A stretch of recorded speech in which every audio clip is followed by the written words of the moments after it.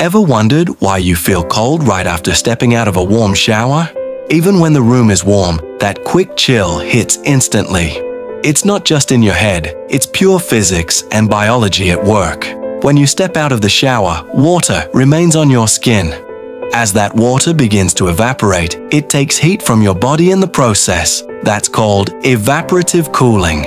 It's the same reason sweat cools you down when you exercise. But there's more. After a hot shower, your blood vessels expand to release excess heat. When you step into cooler air, those vessels suddenly constrict, causing your skin temperature to drop, and your brain reads that as cold.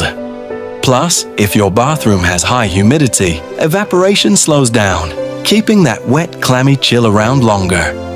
So next time you feel that shiver after a shower, remember, your body's just trying to balance temperature through evaporation and blood flow. Simple science behind everyday sensations. Subscribe for more bite-sized explanations that make the world around you make sense. This is Everyday Science Explained.